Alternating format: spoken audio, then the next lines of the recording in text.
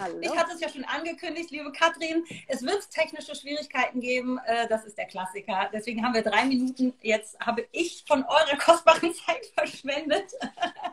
Deswegen würde ich vorschlagen, lasst uns direkt loslegen. Ähm, ich ähm, habe ganz, ganz viele Fragen, aber ich finde, es ist wichtig, dass du, liebe Katrin, dich einmal kurz vorstellst, damit die Community auch weiß, wer du denn eigentlich genau bist und was du machst. Super gerne. Äh, Katrin Helling-Klar, ich bin Mitglied des Deutschen Bundestags in der zweiten Wahlperiode. In der letzten war ich Mitglied im Rechtsausschuss und im Gesundheitsausschuss und ähm, betreue weiter so die medizinethischen Themen im Gesundheitsausschuss, alles ähm, rund um Kinderwunschbehandlung, Embryonenschutzgesetz, ähm, ist meine Zuständigkeit eben aus dem gesundheitspolitischen und rechtspolitischen Fokus heraus. Ich habe noch Kollegen im Familienausschuss, die es da ähm, betreuen und ähm, ich gebe mir Mühe, mich massiv für alle Fortschritte in dem Bereich einzusetzen, was die bessere Finanzierung angeht und auch was ähm, Einschränkungen Embryonen, im Embryonenschutzgesetz, Eizellspende, altruistische Leihmutterschaft und solche Dinge angeht, dass wir das hinter uns lassen. Mhm. Dafür streite ich auch. Das war's in aller Kürze. Super, super. Danke für den coolen Elevator-Pitch, wie man so schön sagt. Ähm, pass auf, wir sind ja heute hier, um einfach ähm, einmal das Thema Kostenübernahme der Kinderwunschbehandlung zu besprechen. Da hattest du auf dem Fertility Think Tank äh, vor einer Weile, hattest du einfach da was sehr Schönes drüber gesagt, was ich super fand, nämlich dass auf jeden Fall 25 Prozent der Kosten für die Kinderwunschbehandlung für alle übernommen werden sollen.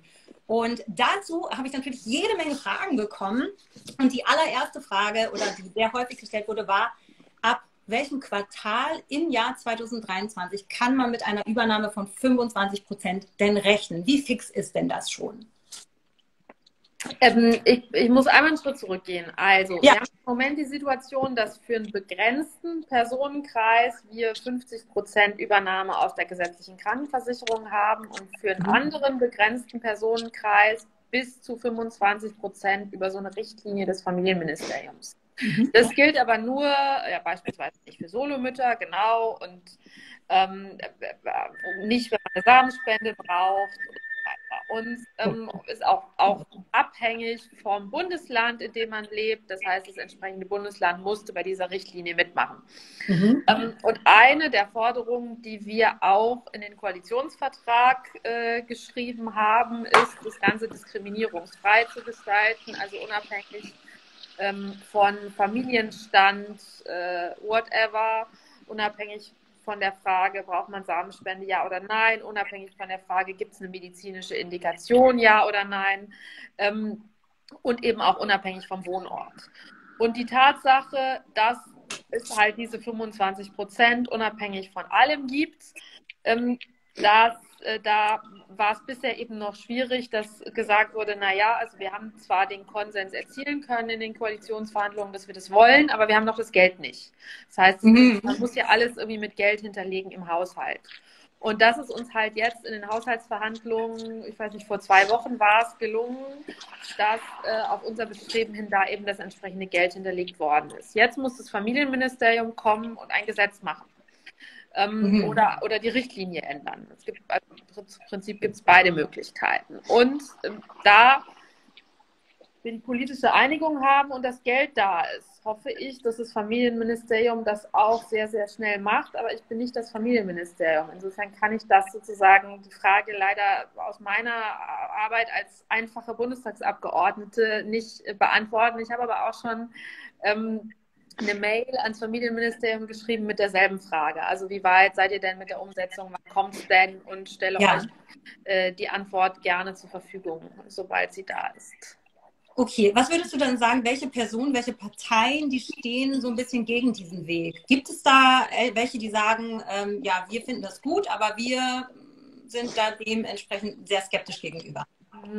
Also wir sind schon die, die es eingebracht haben als FDP-Fraktion ja. in den Koalitionsvertrag. Und ähm, naja, die Union ist sowieso skeptisch, wenn es irgendwie um äh, alles, alles geht. Da hat mir irgendwie ein Kollege von der Union ja. äh, irgendwie neulich gesagt, wenn ich was fordern würde, naja, das wäre sowieso alles des, des, Teufels, was ich da mhm.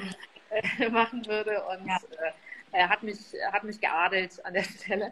Ähm, Und mh, mm, naja, ansonsten ist es halt unterschiedlich. Also bei der Frage Finanzierung und Diskriminierungsfreiheit, da muss man so ehrlich sein, sind unsere Ampelpartner schon eher dabei. Bei so weitergehenden Fragen, die jetzt ins Embryonenschutzgesetz gehen, Eizellspende, altruistische Leihmutterschaft und so, das mhm. sind schon noch eher dickere Bretter, die wir da zu bohren haben. Und da sind wir die einzigen, die so ganz klar sind. Ja, ich glaube, das mit, den, ja. Mit der Finanzierung, also wir müssen die irgendwie immer ähm, ziehen und mussten, also in den Verhandlungen, in den Koalitionsverhandlungen, jetzt in den Haushaltsverhandlungen müssen wir immer irgendwie vorangehen, aber ähm, das ist schon, schon so, dass sie das auch in Ordnung finden, die anderen. Okay, gut. Und ähm, das heißt also, die Haushaltsmittel sind eigentlich schon freigegeben, aber es muss noch eben ein Gesetz, eine Gesetzmäßigkeit hergestellt werden, damit das auch seinen Gang gehen kann. Äh, so, Habe ich das so, so verstanden? Genau, also die ja. Haushaltsmittel sind, äh, da ist sozusagen eine Anmerkung dran. Ich habe es mir ja. gerade irgendwie nochmal ausdrucken lassen. Ähm, ähm, da ist dann Verweis auf den entsprechenden Passus im Koalitionsvertrag äh, mhm. äh, gemacht und da steht, also das Geld ist da zur Unterstützung bei un ungewollter Kinderlosigkeit bis zur mhm. Vorlage mhm. der notwendigen geänderten Richtlinie oder einer gesetzlichen Regelung. Ähm, Kann es halt noch nicht ausgezahlt werden, aber ähm, das ist eben extra eingestellt worden mit Bezug auf die diskriminierungsfreie Erweiterung des Empfängerkreises, die Unabhängigkeit von medizinischer Indikation, Familienstand und sexueller Identität sowie die Übernahme von 25 Prozent der Kosten durch den Bund unabhängig von einer Landesbeteiligung. Okay. Ähm, zwei Fragen dazu. Die, was würdest du denn sagen? Kann man das überhaupt sagen? Kann man das einschätzen? Wie lange so eine Gesetzesänderung? Wir sind ja hier in Deutschland, das könnte ein bisschen dauern. Das heißt, äh, könnte es auch sein, dass es halt noch nicht, auf jeden Fall 2023, möglich sein wird? Ist das. Also, also das, Familienminister das Familienministerium wäre halt dumm, wenn sie es nicht im nächsten Jahr machen würden. Ja, okay. Und das sage ich Frau Paus auch gerne so, weil also wir haben die Einigung und wir haben das Geld. Und wenn sie es jetzt nicht nimmt, äh, ja dann wäre es halt blöd. So, also ja. natürlich kann das sein, weil die Initiative muss jetzt einfach aus dem Haus, die müssen das machen. Mhm. Und äh, der, der, da ja, kann ich jetzt nachfragen und drängen und so, aber am Ende habe ich den Hebel jetzt nicht mehr.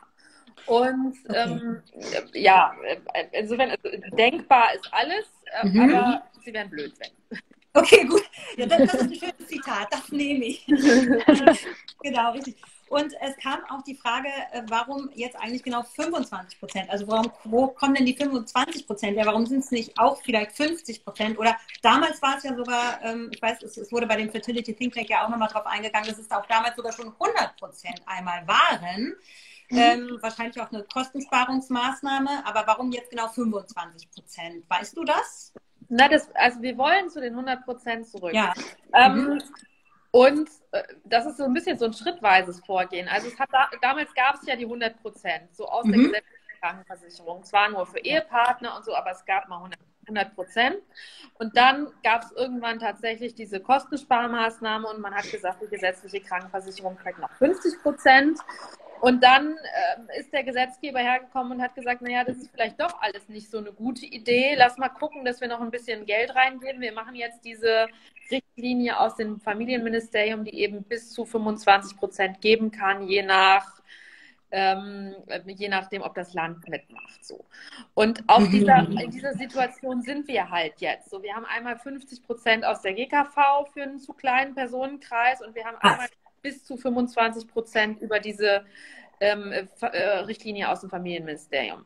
Und jetzt haben wir uns halt auch ein schrittweises Vorgehen überlegt. Und Geld aus der gesetzlichen Krankenversicherung zu nehmen, ist halt noch mal schwerer als aus dem Bundeshaushalt.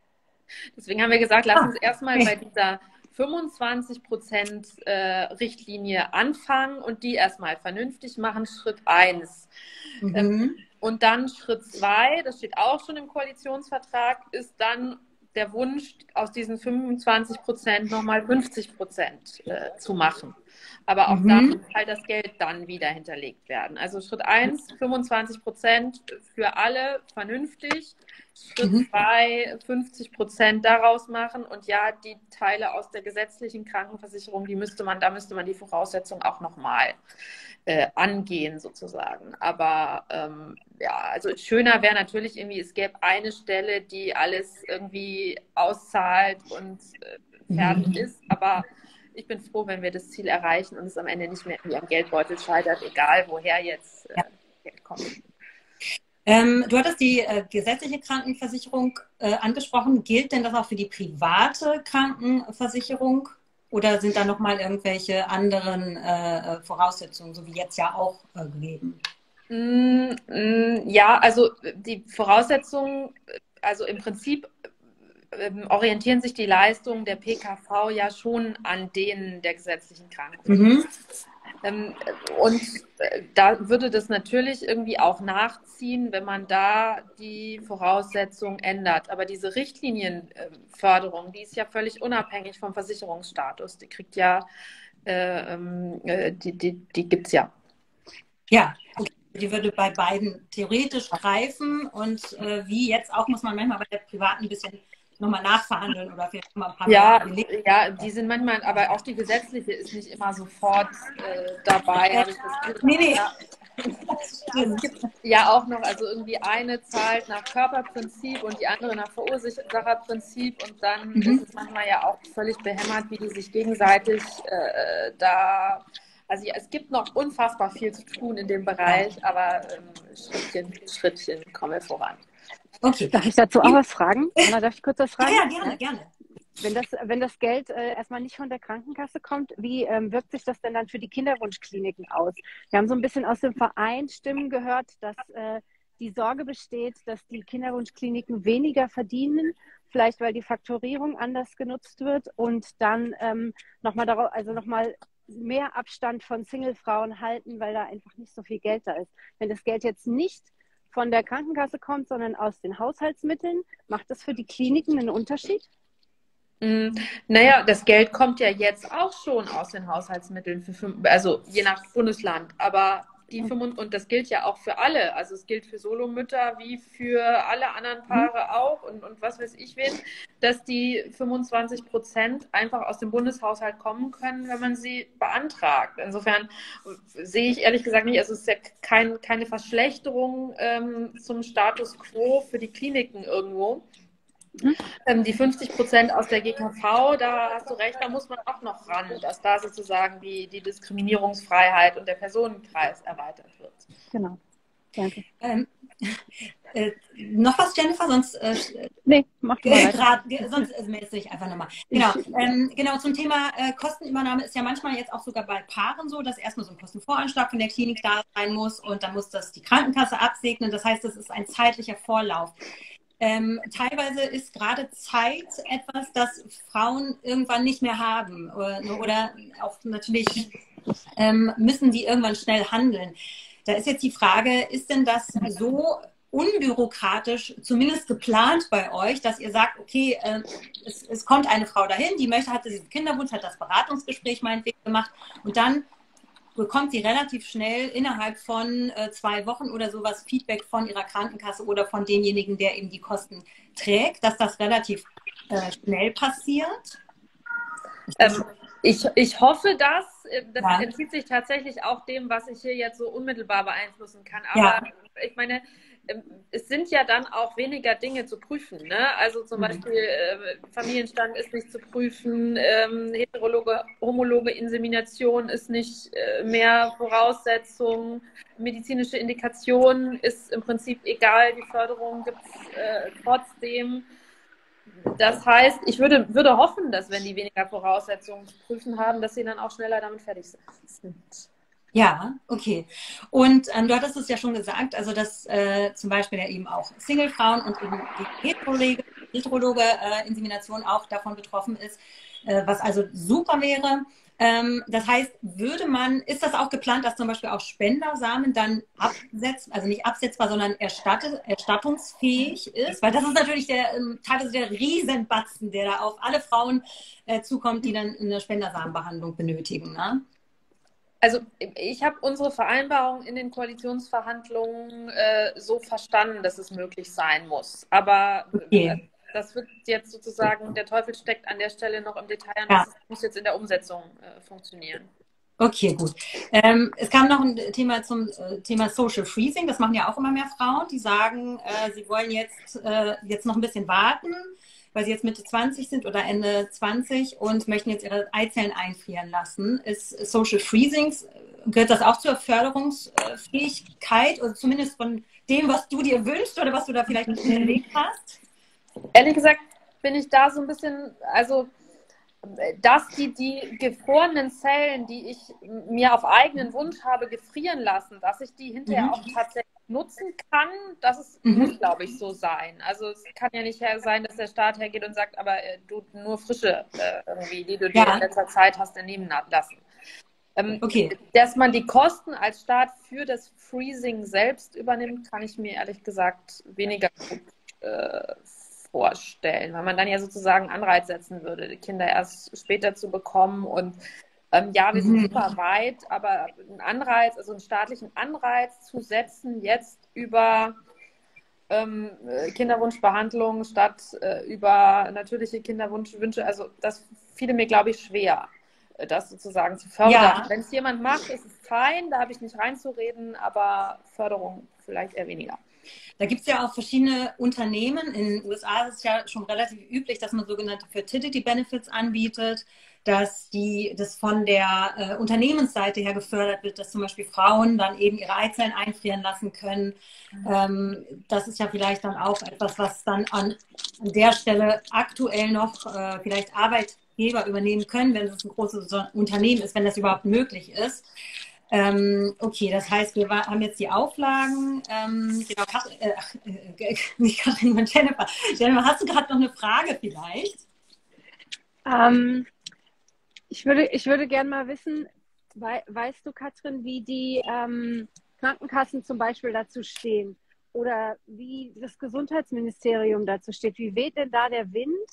Mhm. Ähm, dass das wirklich irgendwann so ist, dass das diskriminierungsfrei von der Krankenkasse oder woher auch immer zu sehr mhm. vielen Prozent übernommen wird. Wie steht denn da, wie, also wie sind denn da die Aussichten?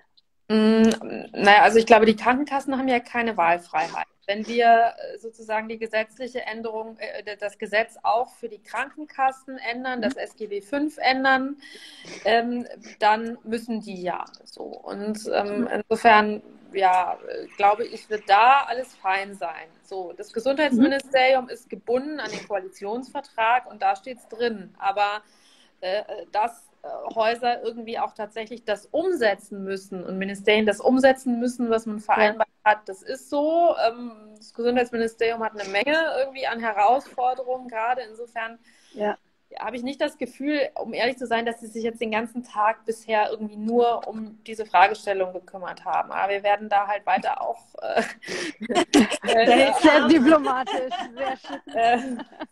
Äh, wir werden da natürlich auch äh, dranbleiben und äh, mhm. uns Mühe geben, dass wir die da oft dran erinnern, was wir da vereinbart haben. Äh, Nochmal ganz kurz eine Frage zu den Anzahl der, der Anzahl der Versuche. Aktuell ist es, glaube ich, so, es werden für heterosexuelle Paare drei äh, oder vier waren es? Drei aus, der drei? GKV, drei aus der GKV und vier aus der Richtlinie. Genau. Und ähm, wäre das ebenfalls so, dass das auf so eine bestimmte, äh, also eben auf diese Anzahl von drei also ich gehe, gehe davon aus, dass wir uns erstmal jetzt sozusagen nicht, also die Finanzmittel sind, glaube ich, so geplant, äh, dass es so bleibt. Ähm, aber wir haben uns auch vereinbart, dass wir das nochmal diskutieren wollen. In der PKV ist mhm. es ja so, dass es nach individueller Erfolgswahrscheinlichkeit äh, geht. Also dass die sich den Einzelfall angucken und sagen, ähm, mhm. das ist eine über 15-prozentige äh, Erfolgswahrscheinlichkeit, also müssen wir erstatten. Und so hielte ich es eigentlich auch für die GKV für wünschenswert, wenn man also nicht äh, so pauschale Lösungen hätte, sondern den Einzelfall sieht. Das gleiche gilt aus meiner ja. Sicht übrigens auch für die Altersgrenzen. Also die Altersgrenze nach unten halte ich für mhm. völlig, äh, völlig wahnwitzig. Was das soll, ähm, habe ich noch nie verstanden.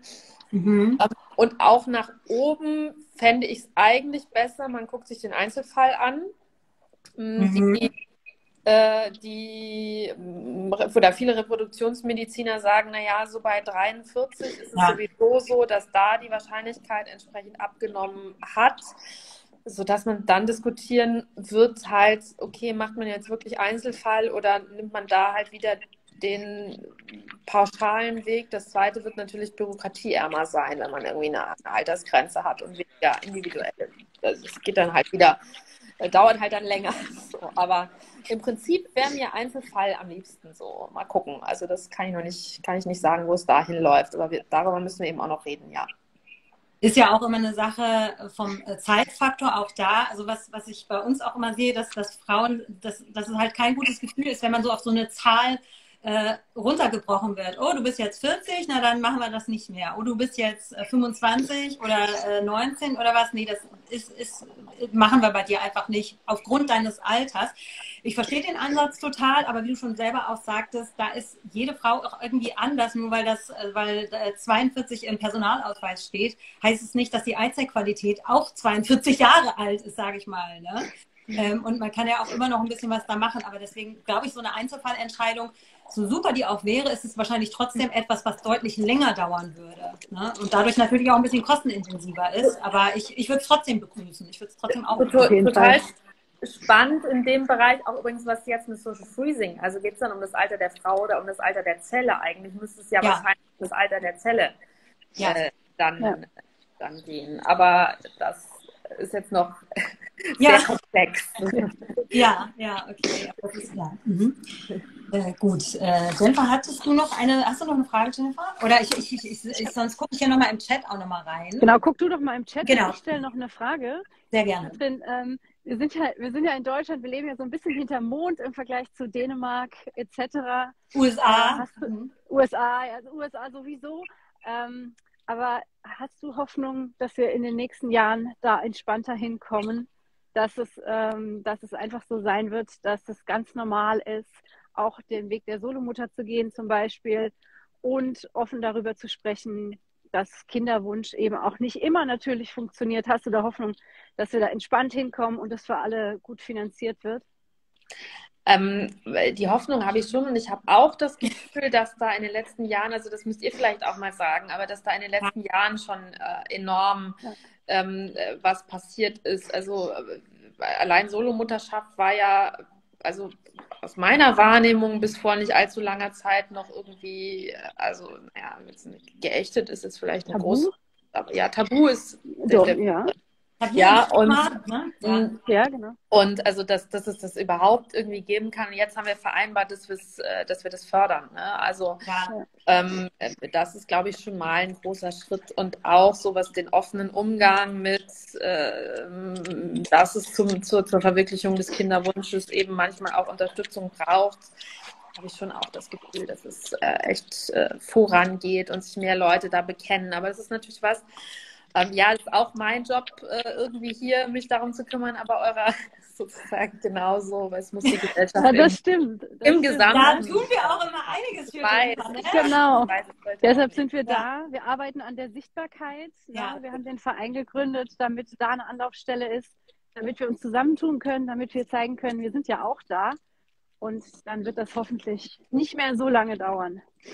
Und Hanna, hast ja. du noch eine Frage aus dem Chat gefunden? Ja, genau. Also ich habe noch eine Frage aus dem Chat und dann habe ich auch noch kurz eine. Ähm, äh, also hier, das ist jetzt ein bisschen anderes Thema, aber vielleicht kannst du das trotzdem sagen. Wie sieht es denn aus mit dem Unterhaltsanspruch für Mütter durch Samenspende? Und wahrscheinlich ist so die Samenspende aus der Samenbank gemeint und nicht den Privatspender. Ja, da gibt es keinen. Da, ja. da gibt's keinen. Ja, genau das, genau das. Und das, das darf sich auch nicht ändern. Das, das, darf sich auch nicht ändern, alles klar. Oh, okay. Ähm, warte mal kurz. Ach ja, da unten sind jetzt noch ein paar hm, Unterhaltsanspruchs. Also genau, das darf sich nicht ändern. Genau, sag doch mal äh, deine Meinung, warum soll, darf sich das auf gar keinen Fall ändern?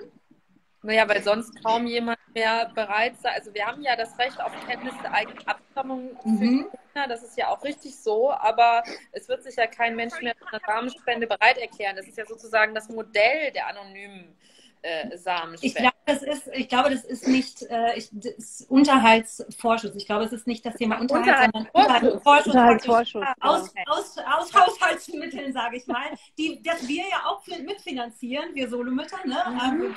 Ähm, praktisch das ja alles auch mit. Ähm, diesen Unterhaltsvorschuss, genau. Ich glaube, das war die Frage, ähm, dass es nicht der Spender logischerweise zahlt. Das ist ja, ja. das ist ja vom Tisch.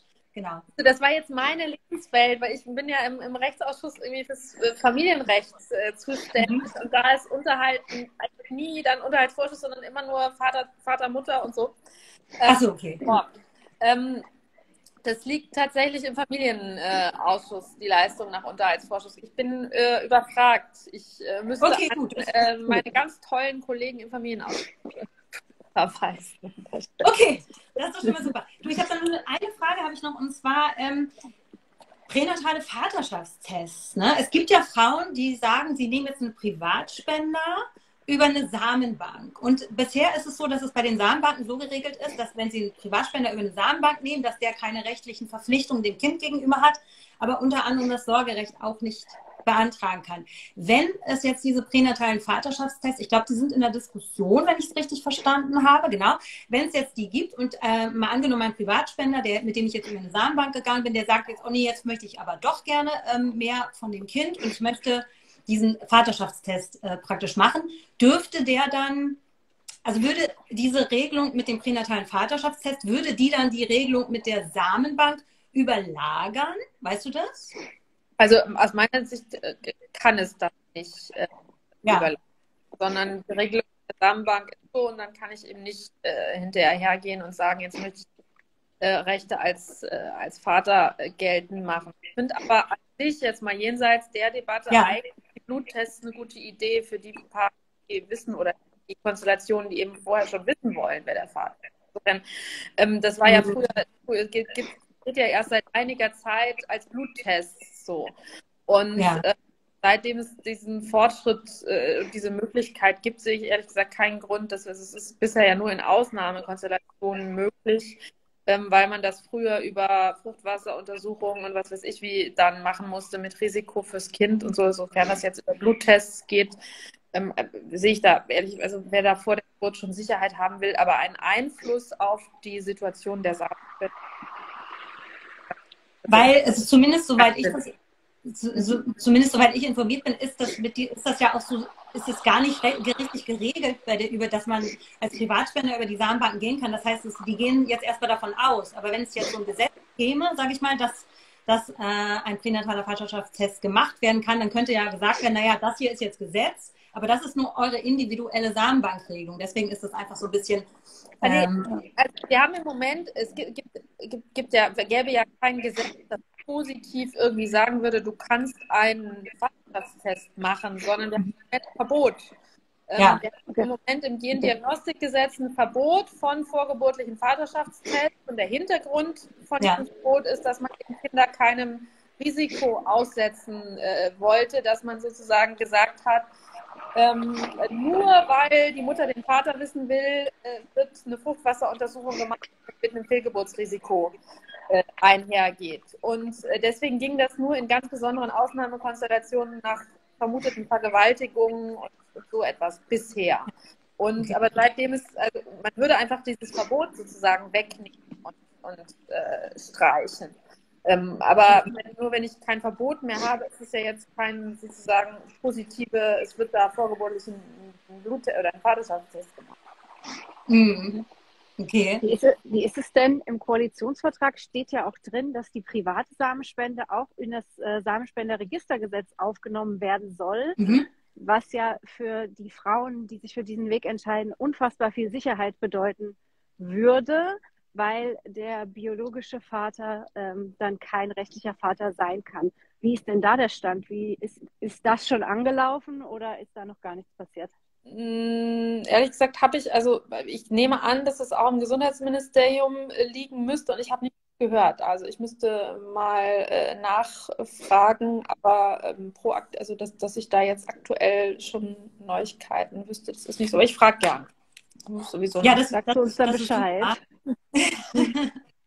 Das wäre ganz toll. Ja, voll. Okay. Ähm, Achso, vielleicht ein Punkt, den ich, ähm, wir wollen ja. ja. auch, dass der spielt im Familienrecht mehr, aber wir wollen ja auch verbindliche Elternschaftsvereinbarungen ermöglichen. Das würde natürlich viel nochmal ändern, was so Rechtssicherheit und so angeht. Ne? Also ja. äh, wenn ich auch, keine Ahnung, mit dem Becherspender äh, vorab eine Elternschaftsvereinbarung, die bindend ist, äh, habe, dann brauche ich mir ja über viele andere Dinge jetzt irgendwie auch keine Sorgen mehr und wenn ich jetzt das ausschließe, das, das hatten wir auch in der Vergangenheit, ich glaube, Jennifer, du hast da so einen ganz krassen Fall geschildert, wo ja, genau. ähm, gesagt wurde, ähm, er hat sich bereit erklärt, Privatspender zu werden. Das ist ja, und die Frau, äh, und dann irgendwann nach einem Jahr, als er, als er sich an das Kind so schön gewöhnt hatte, dann hatte er dann irgendwann gesagt, so jetzt will er aber äh, Sorgerecht haben. Trotz dieser Vereinbarung, die ja bis jetzt praktisch nur auf dem Papier existiert. Die ist ja im Grunde nichts wert. Das heißt, genau. würde das dann so eine verbindliche Elternschaft auch eine verbindliche Nicht-Elternschaft einschließen? Also, dass man so, so eine Vereinbarung treffen kann? Ja, das macht nur so Sinn. Ne? Also, ja. das macht nur so Sinn, wenn ich in der Elternschaftsvereinbarung dann vereinbare, wer hinterher rechtlicher Elternteil ist. Und okay, also im Grunde kann das dann praktisch jeder äh, selber festlegen von diesem wenn sich beide einig sind wahrscheinlich. Genau, genau. Ja. Sollte. Okay, super. Ähm, okay, okay ähm, ich weiß, du musst jetzt auch direkt in den nächsten Termin, deswegen ähm, möchte ich jetzt erstmal ähm, mich ganz doll bedanken, dass du Zeit genommen hast, dir vor deinem Termin und jetzt noch nach deinem Termin. Das, das ähm, hat mir sehr, sehr viel Spaß gemacht, auch dass du äh, so viele Fragen beantwortet hast. Und ähm, ja, also äh, auch Jennifer, gut, dass du auch noch mal dabei warst. Das ist immer schön von allen Seiten, auch vom Verein, äh, vom Solomütter e.V. Verein, einfach nur mal so ein bisschen Input jetzt zu bekommen. Und äh, ich bin mir sicher, wir werden bestimmt noch mal auf dich zukommen. Also ganz, ganz sicher. Das glaube ich auch, ja. Ja. und äh, dann wünsche ich äh, jetzt auch allen Zuschauerinnen äh, und Zuschauern, die dabei waren, erstmal einen wunderschönen Donnerstag, äh, falls Donnerstag ist. Und äh, genau, toll, dass ihr dabei wart. Wenn ihr noch Fragen habt, dann schickt sie gerne an uns auch gerne an Sohnmütter e.V. und genau. an mich und wir würden die dann äh, gegebenenfalls weiterleiten. Und äh, ja, dann äh, danke Super. für eure Aufmerksamkeit und ich versuche das jetzt mal online zu stellen. Ja, Daumen sind gedrückt. unverteckt. Wir freuen uns. Vielen Dank, Katrin. Ich danke euch. Ja, Bis ciao. Bis dann. Tschüss. Tschüss. Ciao.